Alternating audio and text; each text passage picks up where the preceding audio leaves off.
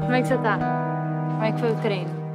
Cuidar dela, tá? Por favor, pega no pé dela, cara. Ela é muito relapso, ela não se cuida. Que isso, claro que me viajando. cuido. Eu não tô falando com você, tô falando com seu marido. Com licença. que engraçadinha. Caralho, moleque. Como é que tu vai fazer agora? Tá tranquilo, cara. Vocês nem pensaram em tirar, não? Não, isso nem passou pela cabeça. Tua chance aí, ó.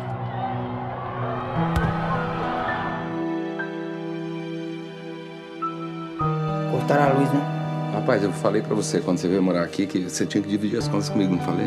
Eu não sou teu pai. Vai rolar uma peneira essa semana aí. Peneira fechada, quase ninguém tá sabendo. Lá no Rio. Acho que tu podia chegar lá, né? Peneira é peneira.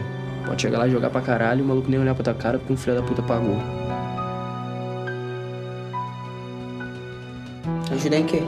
Meu filho, ajudar a arrumar um emprego pra você. Você pode começar como boy. No final do mês você vai ter seu dinheirinho. Calma aí, Padinho. Ele, ele é jogador de futebol. Porra, vocês estão lidando com essa gravidez como se fosse uma brincadeira. O que tá acontecendo, Júnior? Fala, moleque.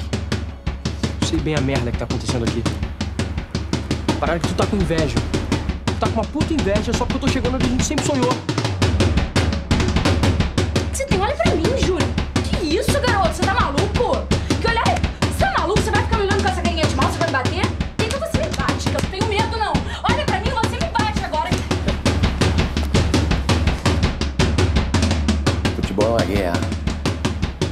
Guerra agora, lá fora. Eu quero saber o seguinte: Bacaxá é o quê? Bacaxá